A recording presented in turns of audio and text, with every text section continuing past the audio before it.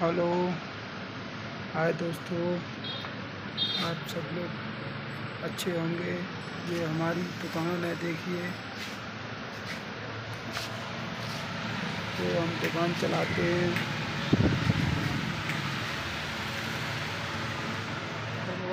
और ये हमारा देखिए, यहाँ पर हम ये दूध मठा बेचते हैं। ये देखिए, अमूल का दूध, ये दही। ये दूध, जिस किसी को चाहिए। हमारी दुकान पर आके ले सकता है।